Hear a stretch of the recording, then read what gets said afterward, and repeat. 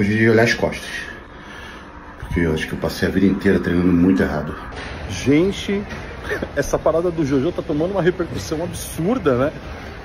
Calma aí, eu já vou vir aqui falar sobre isso. Fala aí, marombada! Suavidade, vídeo novo se iniciando por aqui. Se você ainda não é inscrito no canal, já me dá aquela moral, se inscreve, deixa aquele like, comentário pesadão e bora trocar uma ideia aí sobre o bololô que vem rolando com Jorlan Vieira e Laércio Refundini, nosso querido Lalá, rapaziada. Dias atrás, Jorlan postou um vídeo falando da remada ali tradicional, que ele não, ele não era muito adepto, podemos dizer assim, da galera que faz aquele arqueamento. O cara tá aqui apoiado, ele faz isso, ó. E a galera gosta. É, por quê? É um movimento que ele se torna leve, ele tem uma ênfase no grande dorsal e no romboide também, um pouco, e um pouco de posterior de ombro, mas isso não é remada unilateral. Isso aqui é uma variação dentro da remada. E por um acaso, Laércio é o cara que defende esse arqueamento aqui, dizendo que apesar de pegar menos peso, ele consegue recrutar bem mais, ó, a dorsal, meus manos. E o Lala aí fez um vídeo resposta pro Jorlan, colocou inclusive o rosto do Jorlan na capa, falou ali, resposta pra Jojo.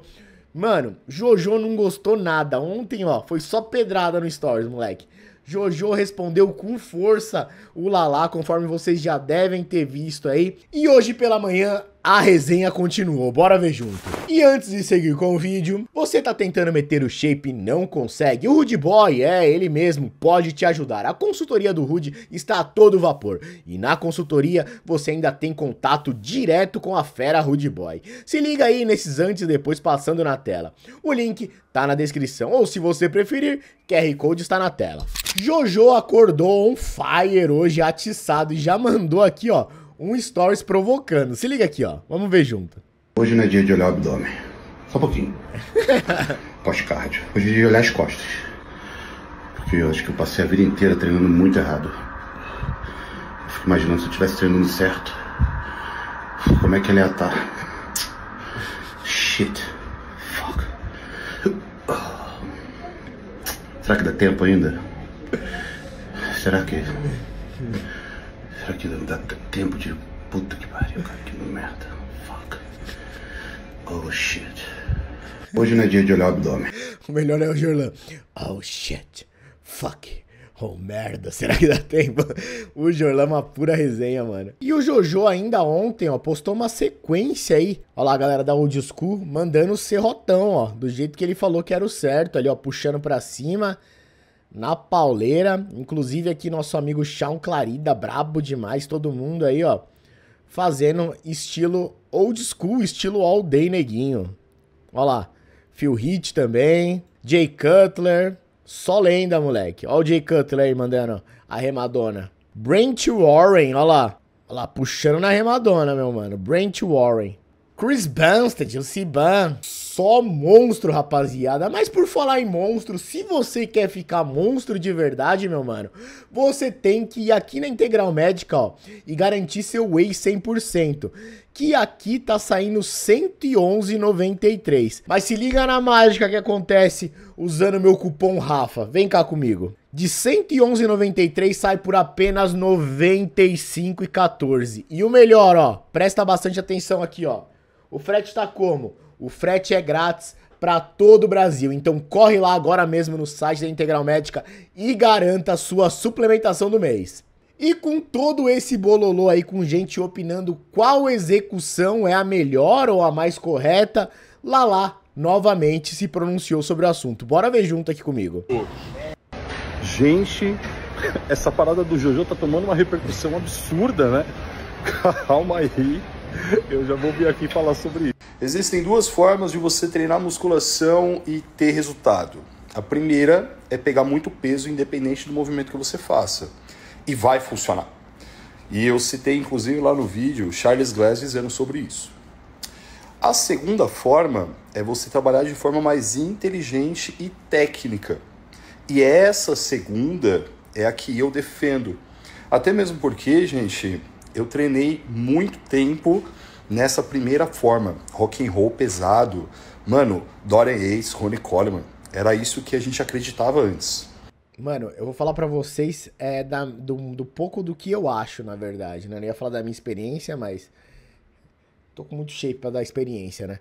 Enfim, é, eu, cara, eu sou, eu já treino já faz já coisa de 10 aí anos, alguma coisa assim. Pode não parecer, mas eu treino. E sempre foi passado pra gente que a gente tem que jogar a carga, meter pra cima, às vezes dá aquela roubadinha a mais, mas tem que sempre tentar evoluir carga e fazer bonito. Aí começou essas, essas outras, esses outros tipos de técnica, né? Que pega mais no músculo alvo e tudo mais. Só que, cara, eu sempre achei que aquele modo mais brutal, old school, que é o negócio que encaroça mesmo, que deixa aqueles caroços. Você pega, tipo, um exemplo aí.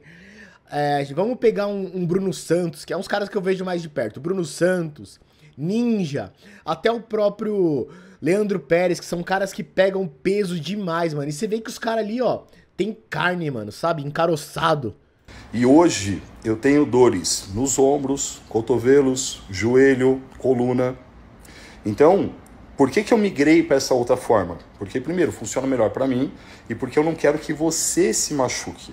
Tem esse ponto, tem esse ponto, que realmente pegar muita carga acaba criando lesões, né? Acaba exigindo muito ali as articulações e tudo mais. E eu defendo isso tanto que todos os meus vídeos do YouTube, aqui no Instagram, todos os meus cursos, eu sigo essa ideia: entregar resultado e prevenir lesão. Agora vamos à polêmica da remada do Lalá.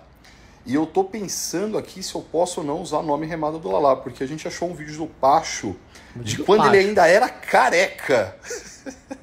Dois anos atrás, antes do meu vídeo. E ele ensina exatamente do mesmo jeito que eu ensino, tá ligado? E aí ele cita a evolução do William Martins por conta dessa remada, e o William Martins cita que viu o Siban fazendo essa remada antes dele desenvolver pra caralho a dorsal dele.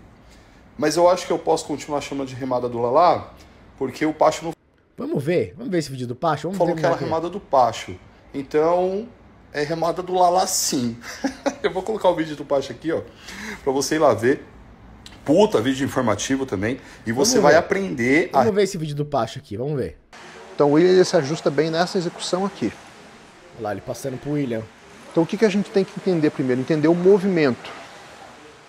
Então o que, que o William está fazendo? Para a gente ativar aqui o grande dorsal, principalmente nessa parte baixa, a gente vai precisar ativar a função de extensão de ombro. Então fazer o máximo de extensão. Olha lá, é exatamente Se eu fizer uma disse mesmo. Sem fazer a depressão de escápula, a gente vai ter muita ativação de trapézio. Ó. Ó. Isso, começa a ter muita ativação de trapézio. Então o que, que a gente vai fazer? Uma depressão e ele vai fazer essa extensão tentando trazer o cotovelo mais próximo do quadril. Ó. Segura. Isso. Aqui, ó. Se a gente coloca a mão aqui, dá para sentir bem ativada essa musculatura. É, rapaziada, até o Pacho foi envolvido no rolê. Vamos voltar lá pro Lala e ver o que, que ele tava falando. remada do Lalá sendo ensinada pelo Pacho careca. É. Agora, a remada do Lalá e a remada curvada unilateral são variações. Variações. é, exatamente. É esse o ponto que eu, que eu acredito também. São variações de exercício.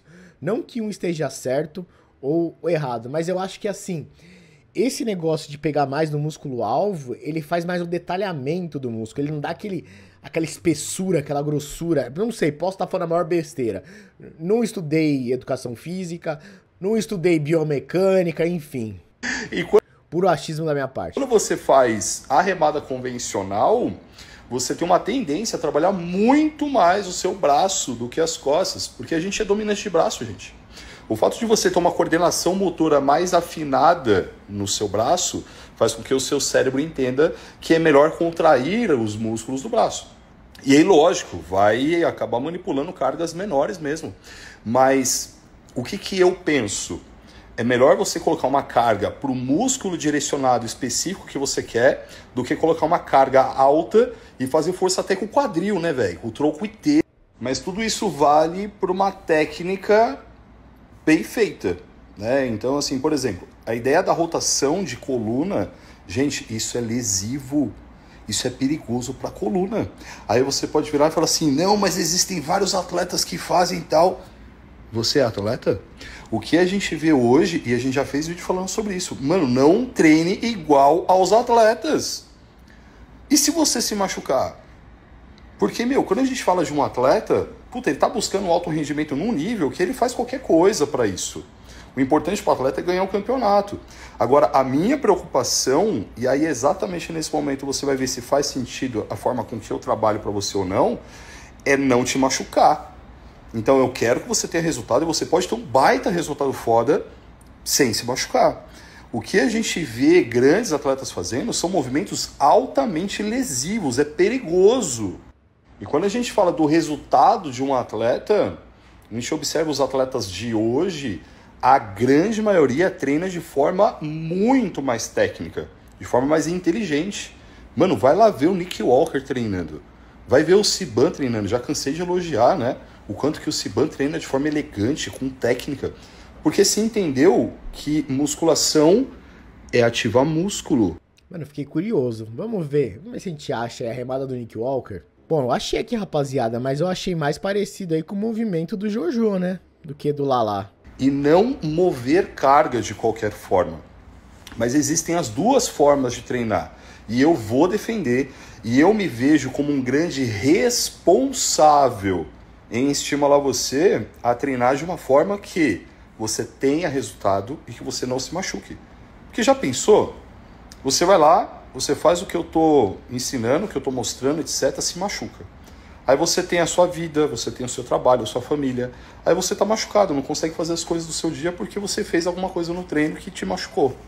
E essa é minha cabeça de professor. E eu tenho uma preocupação tão grande com isso em cuidar dos nossos inscritos, seguidores, que você vê isso de forma muito clara nos vídeos. O meu cuidado para você não se machucar. É, tem essa pegada, né, rapaziada? O Lala aqui, ele lida com pessoas normais. Já o Jojo, ele faz o treino ali old school de atleta. Então são coisas diferentes. Não dá para comparar pessoas normais com atletas. A gente sabe disso. Tá certo que muitas das pessoas normais assistem vídeos de atletas e tentam replicar. Mas como ele disse aqui, muitas das vezes não é tão saudável. E tudo isso nos leva a uma questão não existe certo e errado, e sim variações. Agora, se você estiver fazendo um exercício que pode te machucar, aí eu vou ser categórico em falar que sim, isso está errado. Mas de verdade, caraca, no final das contas, como já dizia Antônia Bujanra, né? A vida é sua, estrague-a como quiser. você que tem que escolher o que faz. Salgado, mano. bicho. No final das contas. Ardido. É isso. Ah, e o que eu faço é o meu papel de professor. E aí ele mandou um pouco da, da remada dele, né? Remada do Lalá, rapaziada. Mas é isso aí, meus manos. Eu quero saber a sua opinião. Comenta aqui embaixo se você chegou até aqui, me dá aquela moral, se inscreve, deixa aquele like. Te vejo no próximo vídeo. Um grande abraço, marombada. Que treta braba, hein, moleque?